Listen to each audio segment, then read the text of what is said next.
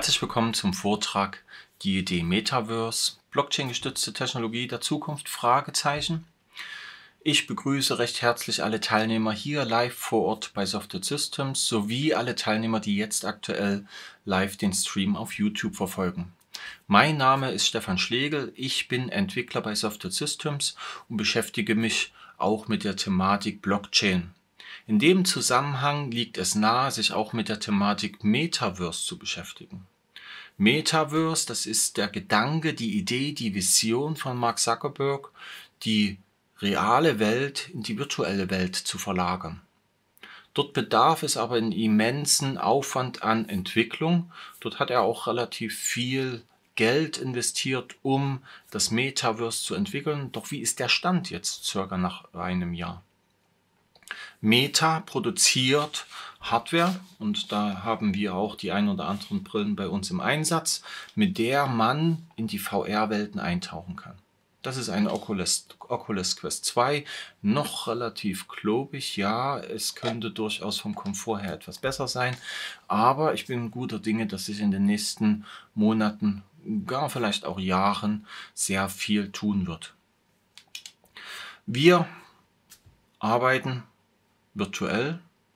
Wir haben gelernt mit der Zeit, gezwungen durch Corona natürlich virtuell miteinander auch zu mieten. Jeder kennt sicherlich die Applikation Teams, WebEx oder Zoom, um miteinander Konferenzen durchzuführen.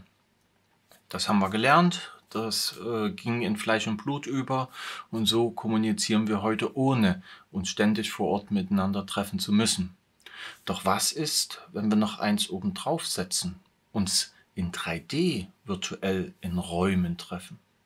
Sich in 3D zu bewegen oder zu kommunizieren ist immer noch was ganz anderes, als irgendwo vor einem Monitor mit einer Kamera zu sitzen. Das Feeling, wenn man mit anderen Leuten kommuniziert, zu Handbewegungen, Augenbewegungen, Mimiken, Gestiken, all das rückt natürlich mehr in den Vordergrund, wenn wir uns virtuell in einem Raum befinden in 3D. Und das ist die Idee und die Inspiration, die das Metaverse mit sich bringt. Ich selbst arbeite auch öfters gern in 3D, habe meine virtuellen Monitore vor mir, sitze quasi in einem Raum, der es mir erlaubt, die Monitore zu justieren und mir dann auszuwählen, was ich an welcher Stelle wo gerne sehen möchte kommunizieren, Eingaben, alles möglich. Nur, dass ich eben nicht zu Hause in meinem Büro oder auf Arbeit im Büro sitze, sondern eintauche in eine virtuelle Welt. Man könnte auch irgendwo im Zug sitzen, sich einfach die Brille aufsetzen und hätte sofort äh, Zugriff auf alle wichtigen Daten. Kurz ein paar Worte zu meiner Agenda. Ich möchte noch einleitend erzählen, welche Technik wir hier im Einsatz haben, welche Techniken gibt es überhaupt. Dann relativ schnell zu dem Thema, Blockchain und der Gedanke des Web 3.0 überspringen. Und das machen wir nicht, indem ich hier die ganze Zeit die Folien präsentiere, sondern wir werden direkt in ein VR-Meeting reinschauen. Wir haben im Vorfeld eine VR-Sitzung aufgezeichnet, in der ich all diese Themen habe besprochen. Und so haben Sie gleichzeitig mal ein Feeling, wie es ist, in VR miteinander zu arbeiten, miteinander zu kommunizieren und sich über Themen auszutauschen. Zu den eingesetzten Produkten. Wir haben hier bei uns die Oculus Quest 2 im Einsatz. Diese ist bereits schon ab 440 Euro zu erhalten. Das bedeutet, ist ein gutes Einsteigergerät, um relativ schnell und einfach Erfahrung zu sammeln in VR. Ein etwas höherwertiges Produkt ist die Quest Pro. Die besitzt zum Beispiel schon die sogenannten Pancake-Linsen, mit der man ein breiteres Sichtfeld hat, 20% eine hö äh, höhere Auflösung und die Quest Pro hat sogar Kameras, die einen die Augen überwachen. Dadurch sieht das Headset, wo ich gerade hinschaue, ob ich blinzle. Mimiken, Gestiken, Mundbewegungen, all das kann in VR in einem Avatar auch repräsentiert werden und das macht diesen Avatar natürlich noch viel authentischer. Ebenso durch das Eye-Tracking konnte die Performance gesteigert werden, indem da, wo ich gerade hinschaue, nur dort die Pixeldichte erhöht wird, um es detaillierter zu präsentieren. Die Quest 3 soll dann Mitte, Ende des Jahres kommen. In diesem Produkt werden die ein oder anderen Features natürlich übernommen von der Quest Pro, aber das soll quasi das Konsumerprodukt von Meta bleiben. Natürlich gibt es auch eine Menge andere Hersteller, hier nur mal eine kleine Auswahl, die vorrangig für den Gaming-Sektor diese Headsets produzieren. Ohne diesen Gaming-Sektor wären wir heute nicht da, wo wir sind, denn dadurch können Einnahmen generiert werden und die Weiterentwicklung gesichert. Spannend finde ich aber, dass auch Apple im Frühjahr 2023 ein Headset rausbringen möchte. Das wäre jetzt. Wie wir aber schon lesen können, es verschiebt sich um zwei, drei Monate. Ich bin definitiv gespannt darauf, welches Design und welche Performance Apple uns dort an der Stelle bieten möchte. Ich möchte jetzt wechseln zur Blockchain und den Gedanken des Web 3.0. Wie angedeutet, wechseln wir jetzt auf ein Meeting, auf ein VR-Meeting, wo ich mich mit Kollegen getroffen habe, welches wir im Vorfeld haben aufgezeichnet und würde an der Stelle einfach sagen, ich gebe ab in das VR-Meeting bis später. Also dann herzlich willkommen in dem Meeting. Hier sind meine Kollegen mit anwesend. Wir können mal alle Hallo sagen zu den Teilnehmern im Stream und auch live bei Softed. Ich habe eingeladen den Björn. Björn, hebt mal den Arm. Ja. Jawohl, hier ist neben mir links sitzt der René. Drüben sitzt bei mir die Konstantin Ala Katja, auch mit anwesend und unser Kameramann, der Markus äh, alias Aaron. Jawohl, das ist er. Er begleitet uns heute und macht die technische Leitung quasi von diesem Meeting. Ich habe euch eingeladen, um euch zu präsentieren und zu zeigen, was das Metaverse eigentlich ist und möchte demonstrieren, welche Technologie eigentlich dahinter steckt. Wie schon erwähnt, das Metaverse ist nicht nur einfach eine Applikation, äh, wo man sich in VR miteinander trifft und unterhält, sondern das Metaverse, dort steckt der Gedanke der Blockchain mit dahinter, Daten zentral, äh, dezentral abzuspeichern. Und da müssen wir erstmal klären, was ist eigentlich überhaupt eine Blockchain? Eine Blockchain ist ein System von vielen verschiedenen Programmen, die nennt man auch Nodes, die verteilt auf der Welt aktiv sind. Diese Knotenprogramme, die in einem großen Netzwerk laufen, die jetzt keine Unternehmen, das sind einfach nur PCs, die irgendwo gestartet sind und mit dem Netzwerk verbunden sind. Jeder Knoten, jeder einzelne Rechner, und das können Hunderttausende, Millionen Rechner sein, haben die Blockchain bei sich valide bis zum letzten Punkt.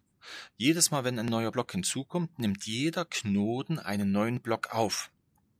Je mehr Knoten in dem Netzwerk vorhanden sind, umso sicherer ist das Netzwerk. Wie ist aber jetzt so ein Knoten aufgebaut? Wie entstehen neue Blöcke? Und das möchte ich mal demonstrieren. Die Blockchain besteht aus vielen einzelnen Blöcken, die aneinandergereiht werden. Diese Blöcke werden von den Knoten erstellt und validiert. Und immer wenn ein neuer Knot, äh, ein neuer Block entstanden ist, müssen alle Knoten diesen Block verifizieren. Dieser Block besteht aus Datensätzen, Transaktionen, Zuweisungen. Wichtige Informationen, die können ein bis zehn Megabyte durchaus sein und beinhalten jeweils auch immer einen Hashwert des davor liegenden Blocks. Auf die Art und Weise wird sichergestellt, dass der davorliegende Block nicht manipuliert werden kann. Dadurch entsteht mit der Zeit eine lange Kette von Datenpaketen, genannt auch Blockchain, welche Informationen beinhalten, die nicht mehr verändert werden können. Das ist eine Blockchain. Diese Knoten, was ich eingangs erzählt habe, sind kleine Kommandozeilen-Tools, Programme, die selbst sogar auf einem Raspberry Pi laufen.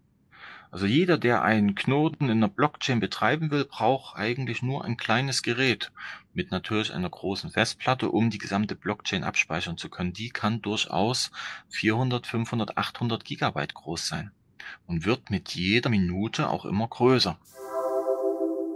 Schauen wir uns das kleine Gerät mal etwas genauer an.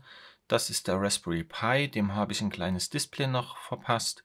Man sieht angeschlossen eine 1 Terabyte SSD Festplatte sowie ein Netzwerkkabel. Über das Netzwerkkabel ist es dem Gerät möglich, Verbindungen zu anderen Knoten herzustellen. Dieses Netzwerk ist ein Peer-to-Peer-Netzwerk, nennt man auch das Lightning Network, welches eine Layer 2 Schicht bildet über dem Bitcoin-Netzwerk. Das heißt, es werden Transaktionen im Lightning Network durchgeführt und das Ergebnis dieser Transaktion dann irgendwann auf der Blockchain abgespeichert. Auf dieses Gerät kann ich auch mittels SSH zugreifen und dort Einstellungen vornehmen, Services aktivieren, konfigurieren. Da das aber zu kompliziert ist, verwende ich hier das Webinterface, weil über das Webinterface kann man dort an der einen oder anderen Stelle das Gerät viel effektiver konfigurieren. Ich rufe dazu einfach in meinem Browser das Gerät auf und das ist die Startseite von dem Raspberry Pi. Dort sehe ich mein Balance, was auf, der, auf dem Gerät hinterlegt worden ist, sowie ein paar wichtige Informationen zur Transaktion, zu Transaktionen, die in der Vergangenheit durchgeführt worden sind. Auf diesem Gerät selbst kann man wiederum Apps installieren, unter anderem eben auch das Lightning-Netzwerk. Das ist jetzt die Seite, die auf dem Gerät aufgerufen wird, mit der ich das Lightning-Netzwerk konfigurieren kann. Grundsätzlich muss eine sogenannte Peer-to-Peer-Verbindung hergestellt werden. Das heißt, der Knoten muss sich mit anderen Knoten verbinden und da kann ich unter Peers hier einen neuen Knoten hinzufügen. Woher weiß ich, welchen Knoten ich hier hinzufügen möchte? Dazu gibt es wiederum eine Webseite, hier mal live dargestellt das aktuelle Netzwerk und deren aktuellen Channels, sogenannte Transaktionsverbindungen, wie es aktuell live äh, in Betrieb ist. Es gibt auch eine Webseite, wo man einen Überblick hat. Könnte ich unter Locations gehen und zum Beispiel mal schauen, was so in Deutschland los ist.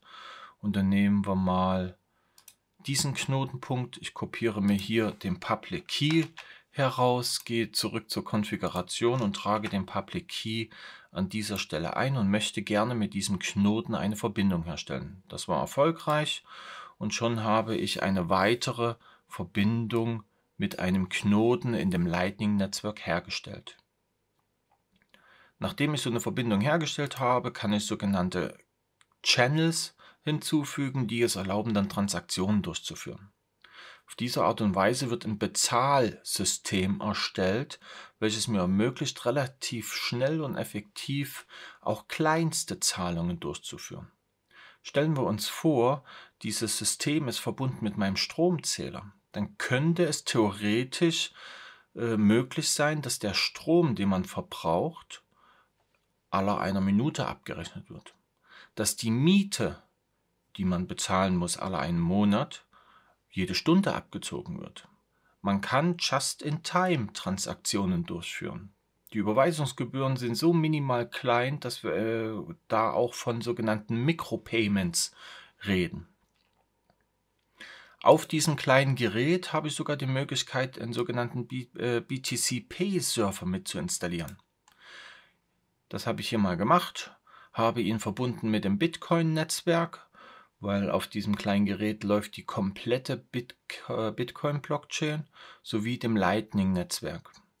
Hier habe ich die Möglichkeit, wenn ich das fertig konfiguriert habe, sogenannte Rechnungen zu erstellen und jemanden aufzufordern, mir etwas Geld zu überweisen. Zum Beispiel 150 Euro möchte ich gern unter der Rechnungsnummer 789 für SQL Grundlagenschulungen Tag 1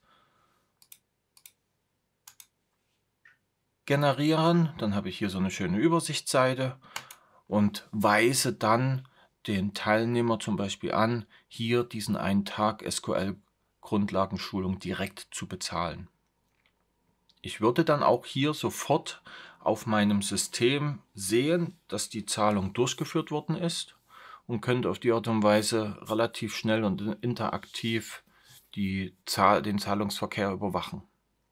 Ich habe also mit diesem kleinen Gerät nicht wirklich nur eine Möglichkeit, Zahlungen auszuführen, sondern ich habe ein komplettes Banksystem hier auf diesem kleinen Gerät installiert. Ob ich jetzt hier 150 Euro oder 3 Milliarden Euro überweise, ist egal. Das kann alles mit diesem kleinen Gerät durchgeführt werden. Ich brauche keine Dienstleister wie PayPal oder eine Sparkasse, um äh, Überweisungen durchzuführen. Und das sind natürlich Sachen, die ein Metaverse irgendwann grundlegend benötigt, um Serviceleistungen just in time auch bezahlen zu können, um in dem Metaverse wirtschaftlich auch Servicedienstleistungen anbieten zu können. Wenn wir jetzt also eine Blockchain haben, wo wir viele verschiedene Transaktionen ablegen können, dann sind die ja von allen Knoten einsehbar. Dort werden aber nicht die Informationen personifiziert. Das sind nur anonyme große Adressen. Diese Adressen, die kann man auslesen. Das Netzwerk, welches die Blöcke baut, sogenannte Mining-Netzwerk, wenn wir uns das jetzt mal auf Bitcoin-Ebene anschauen, das Proof of Work. Um einen neuen Block zu bauen, bedarf es eine Menge an Energie, um das mathematische Rätsel zu lösen, um einen neuen Block zu finden. Und je mehr Knoten an dem Netzwerk teilnehmen, umso komplexer wird das mathematische Rätsel. Deswegen braucht man auch immer mehr Energie. Aber je mehr Knoten dem Netzwerk beitreten, umso sicherer, umso ausfallsicherer, umso skalierbarer wird eine Blockchain. Das also mal als Hintergrundwissen zum Thema, wie funktioniert eine Blockchain. Das ist die aktuelle Bitcoin Blockchain. Und da sehen wir, dass wir an dem einen Block gerade arbeiten, der zusammengebaut wird und in den nächsten Sekunden quasi von dem Netzwerk freigegeben wird. Wenn dieser Block also fertig ist, alle Knoten über diesen neuen Block informiert worden sind, diesen verifiziert haben, dann wird er freigegeben zur Abspeicherung. Hier auf dieser Seite kann man live verfolgen, wie die Knoten gebaut werden und an welcher Stelle welche Informationen dem hinzugefügt werden. VeChain ist auch eine sehr bekannte Blockchain, die bereits viele verschiedene Unternehmen für sich verwenden, um zum Beispiel eine Lieferkettenapplikation zu realisieren. Dort soll es darum gehen, nachzuweisen, dass während des Transportes das Fleisch immer in einem gewissen Temperaturbereich gelegen hat. Das geht nur, indem man die sogenannte Kühlkette nachweislich von Start bis Ende reproduzieren kann. Das geht natürlich wunderbar mit einer Blockchain. Auf der V-Chain selbst gibt's auch die Firma, das Unternehmen BMW, welches Ersatzteilverfolgung damit realisiert, das sogenannte Verify Car. Dadurch kann BMW es schaffen, nachzuvollziehen, an welcher Stelle welche Bauteile, Ersatzteile eingebaut worden sind. So kann jeder Kunde letztendlich über die Blockchain nachvollziehen, ob das eingebaute Bauteil wirklich ein Originalbauteil ist oder irgendeine billige Kopie. Auch Samsung ist vor kurzem mit eingestiegen und möchte Applikationen auf der V-Chain umsetzen. Die Information ist nur ein paar Tage alt. Wie man jetzt auf so eine Blockchain zugreift, habe ich mal in einem kleinen Beispiel umgesetzt. Hier starte ich eine kleine Aufzeichnung, die ich im Vorfeld durchgeführt habe, um zu zeigen, wie man mit Node.js relativ einfach mit diesen wenigen Codezeilen auf eine aktive Blockchain zugreifen kann. Dort habe ich es realisiert, relativ einfach alle Transaktionen, und man sieht dort schon eine ganze Menge an Datensätzen, die da entstehen, aus der Blockchain heraus zu extrahieren, um sie mir dann darzustellen, um sie mir dann in einer anderen Datenbank abzuspeichern.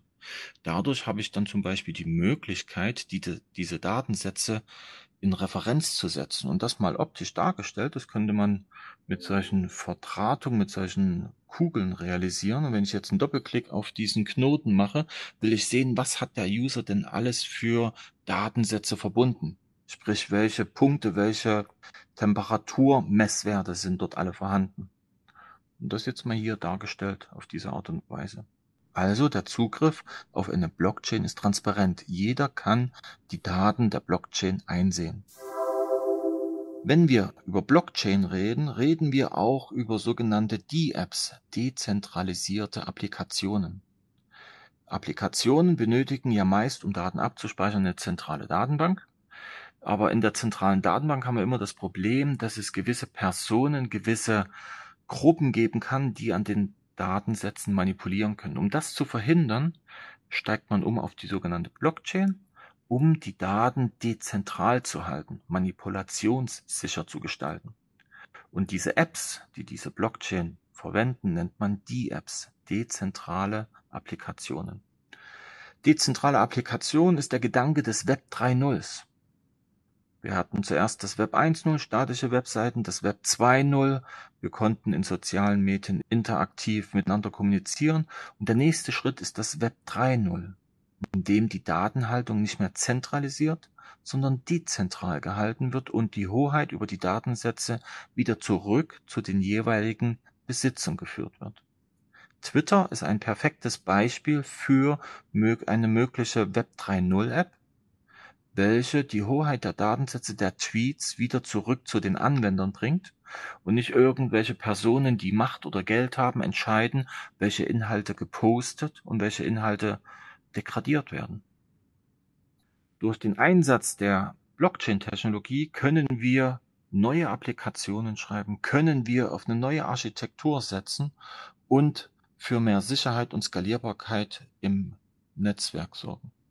Der große Nachteil ist natürlich, dass wir irgendwo einen staatlichen Kontrollverlust haben. Natürlich gibt es eine Menge Organisationen, aber auch Personen, die natürlich nicht erfreut wären, wenn Twitter auf eine Blockchain-Technologie wechseln würde. Denn dadurch hat man natürlich nicht mehr die Möglichkeit, äh, diverse Zielgruppen von dem Portal zu entfernen oder zumindest zu verbergen. Blockchain, meine kurze Zusammenfassung, ist eben die Basis zukünftiger Technologien und kann mehr als nur im Finanzdienstleistungssektor eingesetzt werden. Blockchain ist eine Vertrauensbasis für verteilte Anwendungen und ist die Basis natürlich für unser Web 3.0. Deswegen äh, viele Unternehmen investieren in den letzten Monaten, Tagen verstärkt in diese Technik, um Applikationen zu bauen. Selbst in Azure, wenn man dort in, bei den, im Azure-Portal mal nach Blockchain sucht, findet man schon eine Menge Einträge, um irgendwelche Services von auf Blockchain-Basis zu starten. Jetzt kommen wir zu dem Thema NFT, Non-Fungible Tokens. Was ist das? Ich will es bloß kurz anreißen. Das Thema ist groß, man könnte stundenlang darüber reden, aber letztendlich kann auf der Blockchain ein Besitzeigentum quasi jemandem zugewiesen werden. Jemand, der ein NFT besitzt, kann also quasi anderen zeigen und auch nachweisen, dass ich das besitze und mein Eigentum ist. Ich kann ein Grundstück kaufen und das wird auf der Blockchain als NFT mir zugewiesen werden. Ergo, jeder kann sehen, wem dieses Grundstück gehört. Es ist manipulationssicher, weil jemand anders, der diesen Token kopiert, würde ja in der Blockchain zeitlich gesehen danach einen Eintrag bekommen. Somit würden Kopien oder Manipulation sofort auffallen. NFTs könnten zum Beispiel Nike-Schuh sein. Hier hat Nike in der Tat ein Nike-Schuh als digitales Objekt verkauft an eine einzelne Person. Und derjenige, der diesen NFT besitzt, darf quasi diesen digitalen Nike-Schuh sein eigen nennen. Und so stellen wir uns das auch in der Zukunft vor mit den Avataren.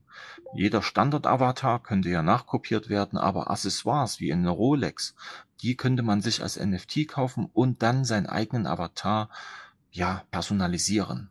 Das würde abgespeichert werden in der Blockchain, so dass ich egal in welcher App ich mich befinde, über die Blockchain immer meine Rolex mit in dem Avatar integriert wird. Und das ist der Gedanke des Metaverse nicht immer nur in einer App sich befinden, sondern App-übergreifend auf die gleichen Daten zugreifen und sich personifizieren, applikationsübergreifend. Klar, so einen Schuh kann ich mir auch kaufen, aber sehr viel kann man da in der virtuellen Welt nicht machen. Anderes Beispiel, die HTW Dresden ist auch schon aktiv unterwegs in Sachen VR. Die HTW beschäftigt sich dort natürlich hinsichtlich der Ausbildung und äh, diversen Studienkreisen. Und da habe ich mal ein Beispiel vorbereitet. Da können wir uns auf YouTube anschauen, wie die HTW sich vorstellt, dort zu arbeiten.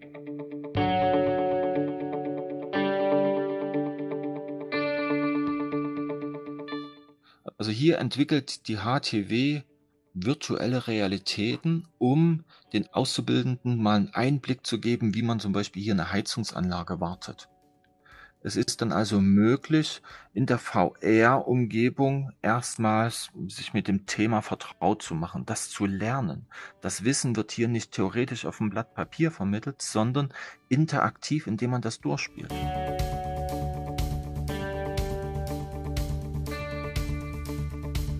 Es macht ja Sinn, bevor ich an eine CNC-Maschine gehe, das vielleicht virtuell mal getestet zu haben und Erfahrung zu sammeln. Erst danach würde ich mich dann an die Maschine im realen Leben herantrauen. Ein anderes Beispiel ist die Fachhochschule Dresden, welche nach interaktiven Lösungen sucht, um den Auszubildenden im E-Handwerk Wissen zu vermitteln. Dort sollen die Auszubildenden virtuell zum Beispiel versuchen, einen Herd anzuschließen. Auf diese Art und Weise können die Auszubildenden problemlos kennenlernen, welche Drähte an welche Position angeschlossen werden müssen. Falls mal was schief läuft, es ist kein Problem, man kann die Applikation einfach neu starten und beginnt das Szenario von vorn. Auf diese Art und Weise kann jeder Auszubildende interaktiv sich Wissen aneignen, was auch Spaß macht. Wie baut man solche virtuellen Welten? Ein bekanntes Tool ist da zum Beispiel der sogenannte Unity Editor, mit dem man interaktive virtuelle Welten bauen kann. Mit diesem Unity Editor ist es möglich, Sachen zu konstruieren und dort Interaktionen auf der Oberfläche zuzulassen. Hier baut man also eine virtuelle Umgebung, wo ein Roboter langlaufen soll, den kann man dann selbst steuern. Das Coole daran ist aber, dass wenn man interaktive Programmpunkte programmieren möchte, diese auch in C-Sharp realisieren kann. Also hier sehen wir, wie eine Person durch diesen Raum, das ist einfach mal so ein Tunnel gebaut mit einer kleinen Erhebung und dann wie funktioniert die Interaktion, das programmiert man dann hier in C-Sharp. Gut, sieht natürlich komplex aus, aber wenn man sich eine Weile damit beschäftigt hat, ist es relativ einfach. Eine App für alle virtuellen Applikationen. Okay, beschäftigen wir uns also jetzt einmal mit der Applikation Horizon Workrooms, in der wir hier aktuell sitzen. Das ist eine Applikation, die von Meta bereitgestellt wird um es zu erlauben, mehreren Teilnehmern gleichzeitig so inter, äh, zu interagieren und Meetings durchzuführen. Und wir sehen ja mit Präsentieren, mit diversen Features, ich kann mir sogar von WhatsApp meine privaten Nachrichten hier einblenden, um immer aktuell zu sein, ist es möglich, Inhalte und Themen perfekt zu besprechen. Auch interagieren können wir. Mit dem Björn kann ich abklatschen, wenn ich will. Das klappt auch sofort. Und wir haben die Möglichkeit, uns Videos anzuschauen und noch mehr Leute mit reinzuholen. Wir haben auch die Möglichkeit, den Raum zu personalisieren. Jetzt an der Stelle möchte ich mit euch einfach mal das Layout des Raumes verändern. Wir wechseln jetzt in den Unterhaltungsmodus. Tja, jetzt sind wir geswitcht in den Unterhaltungsmodus und sitzen hier an einem runden Tisch in dem wir Themen diskutieren können. Es gibt aber auch noch einen sogenannten Präsentationsraum. Ich wechsle jetzt mal in den Präsentationsmodus. Dieser wird natürlich vorrangig für Präsentationen, für Schulungen verwendet. Und da wechsle ich jetzt mal den Platz auf den Trainerpult, weil ich bin ja derjenige, der hier was präsentiert und zeigt. Und von hier aus kann man wunderbar in den Raum blicken. Aktuell sind vier Teilnehmer hier in dem Raum. Können wir alle die Hand heben? Jawohl, das klappt. Jeder ist da, noch keiner eingeschlafen. Wenn bis zu 50 Teilnehmer in dem Raum sind, dann könnt ihr euch vorstellen, dann ist das schon wie ein Konferenzsaal. Aktuell geschrumpft, weil wir nur vier Teilnehmer sind. Aber theoretisch können bis zu 50 verschiedene Teilnehmer gleichzeitig an diesem Raum teilnehmen. Und das verspricht natürlich noch viel mehr. Zum Schluss haben wir noch die sogenannten Breakout Sessions, die wir hier verwenden können. Da befinden wir uns verteilt im Raum, jeder an, an einem anderen Platz. Hallo. Hallo. Hallo. Auf die Art und Weise ist es möglich, selbst innerhalb eines Raumes verschiedene Gruppen zu bilden. Ihr habt ja auch akustisch gehört, dass wenn ihr dort hinten seid, es akustisch viel, viel leiser ist. Ne? Also die Teilnehmer, selbst wenn der Raum hier voll wäre, würden sich nicht untereinander derart ins Gehege kommen, sodass man akustisch nichts mehr verstehen würde. Willkommen zurück in der realen Welt. Ich hoffe, es hat Ihnen gefallen. Ich hoffe, Sie haben einen kleinen Eindruck von dem bekommen, wie es ist, miteinander virtuell zu kommunizieren. Wir können präsentieren, wir können miteinander reden, wir können den Raum konfigurieren, wir können virtuelle Meetings durchführen. Natürlich ist das noch lange nicht der Gedanke des Metaverse, so wie es uns Mark Zuckerberg hat eingangs visioniert. Es bedarf eine ganze Menge an Entwicklung dieser Technologien, die als Basis dazu dienen, um Transaktionen, um Besitzeigentum und, und, und nachvollziehbar, sicher abzubilden. Ich finde, es ist eine spannende Geschichte. Ich hoffe, es hat Ihnen gefallen. Wenn Sie auch gerne Erfahrungen sammeln wollen, wie es ist, in so einem 3D-Raum mal eine Diskussion, mal ein Meeting durchzuführen. Wir haben Headsets, äh, stellen die Technik gerne bereit. Kommen Sie einfach zu uns, sprechen Sie uns an und vereinbaren Sie einen Termin, dann können wir gerne auch mal ein Testmeeting durchführen. Ansonsten wünsche ich Ihnen noch viel Spaß äh, an dem nachfolgenden Track ChatGPT und Web 3.0, auch ein sehr spannendes Thema, basierend auf der Blockchain-Technologie. Ich wünsche Ihnen viel Spaß, bleiben Sie gesund und alles Gute. Danke.